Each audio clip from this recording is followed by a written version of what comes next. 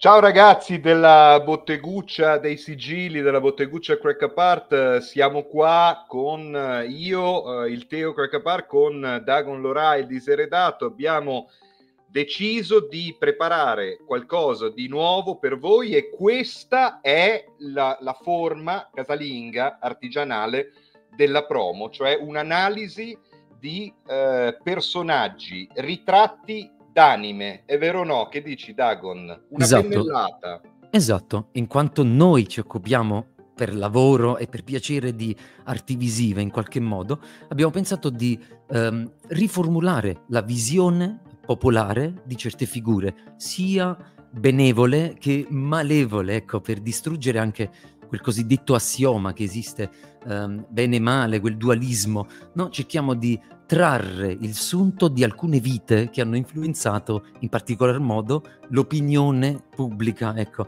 Quindi ci sarà ehm, un'ampia gamma, ecco, di persone che saranno sottoposte alla nostra attenzione un po' goe- goetheana, sai? Esatto. Osserviamo e scopriamo che la patata non è una verdura, no? Possiamo scoprire come.